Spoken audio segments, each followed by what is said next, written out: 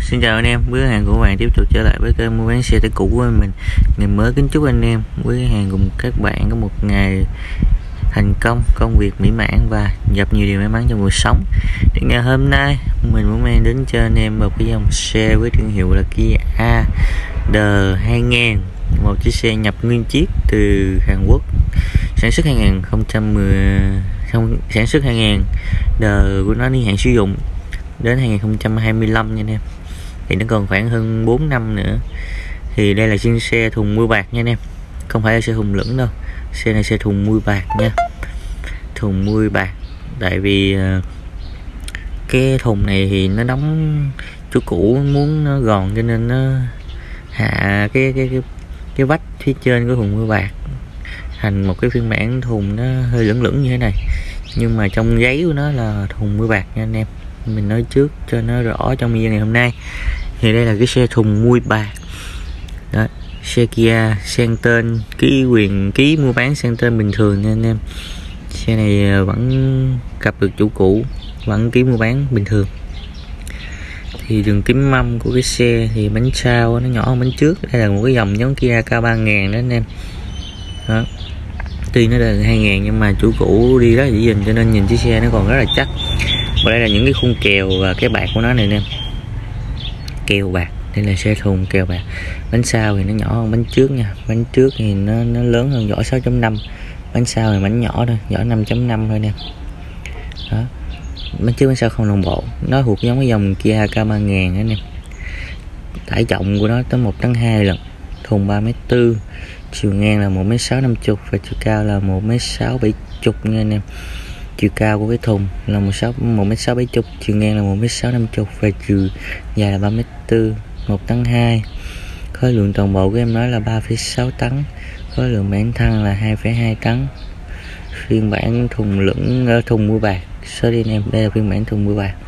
Dòng Kia đời 2000 rất là xịn sò như thế này khung gầm rất là cao đèn nhíp rất là dày vỏ lớp cũng còn rất là mới cũng còn khoảng tới 70 phần trăm nữa anh em thùng bọng thì nó chỉ có hơi vài lớp kỹ xét như thế này thôi. Nói chung xe này đi rất là tuổi cũ đi rất là dình nhưng xe còn rất là mới lắm nè rất là chất lượng. Đi xe đời sau nhưng mà máy móc im du đó, máy móc im. Cabin đẹp. Ít một một đời sau ít một một phía trước thì dùng phuộc. Ngoài nhiếp rất là dày và cứng cáp nội thất cũng còn rất là chỉnh chu rất là sạch sẽ với kính chỉnh điện khóa cửa trung tâm rất là đầy đủ ghế bột da ba chỗ ngồi rất là sang trọng vô lăng cũng rất là có trợ lực rất là nhẹ nhàng luôn nói chung mọi thứ mình cảm thấy đều rất là ổn và rất là tuyệt vời với, mẫu xe tải của thương hiệu Kia như thế này phiên bản thùng mười bạc anh em đấy. đấy mọi thứ đều rất là ok nha đấy vô lăng này nhìn rất là to cầm nắm rất là sướng xe mọi thứ đều còn rất là ổn định hộp số sàn năm số tiến một số lùi. Mọi thứ đều còn rất là chắc chắn và rất là tuyệt vời với cái mẫu xe này. Nếu anh em thích cái mẫu xe này thì cứ đến đây xem xe trải nghiệm và lấy thử. Nếu cảm thấy phù hợp thì có thể đem nó về phục vụ mục đích kinh doanh vận tải bằng chuyển hóa của anh em với hàng của các bạn. Một em xe với thương hiệu là Kia nha. Giờ 2000 rất là tuyệt vời như thế này. Đấy, nói chung là mọi thứ đều rất ok đó anh em. Từ cabin thùng bọng khung sắt Ừ, điều đều rất là ok, máy móc cũng rất là ok. Xe này máy móc chủ cũ đã giữ gìn và gia cố thêm rồi. Nên xe này anh em mua về chỉ bị chạy thôi, không cần phải làm gì thêm. Mọi thứ đều còn rất là ổn, định với mỗi xe tải, nhỏ gọn, xinh xắn như thế này. Với thương hiệu là Kia nha. Đây là cái dòng giống kiểu Kia K3000 mà xe này xe nhập nha anh em. Xe nhập thì chất lượng nó rất là tuyệt vời rồi. Giờ 2000 thì có xe này bên mình dự kiến chào bán cho anh em quý khách hàng của các bạn với mức giá là mức giá tham khảo thôi nha anh em.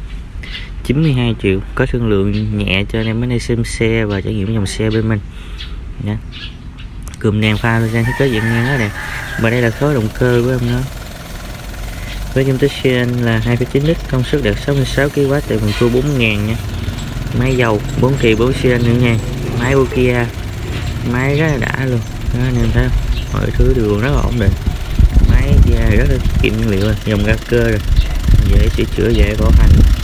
Mọi thứ anh em thấy thì khá là tuyệt vời. Luôn đó, nghe tiếng máy rất là đã và rất là kích thích. Nói chung một chiếc xe mình thấy cũng tương đối rất là ổn định và rất là tuyệt vời. Cho anh em quý hàng có thể suy nghĩ đầu tư. Đấy một chiếc xe mình cảm thấy cũng rất là tuyệt vời luôn anh em rất là đẹp.